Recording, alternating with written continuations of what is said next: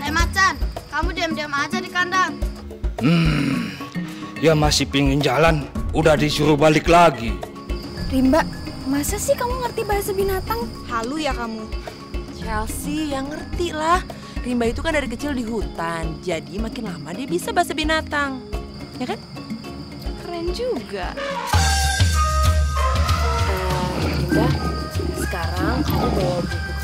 Lagi ya, supaya kalian bisa temenan lagi. Ya tante. Makasih ya. Makasih sahabat pupu.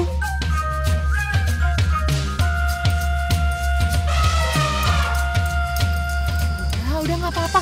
Bubu ini baik, dia tuh sahabat kita semua. Yaudah, kamu hati-hati ya Rimba, Bubu. Ya tante. Bubu, ayo kita pulang.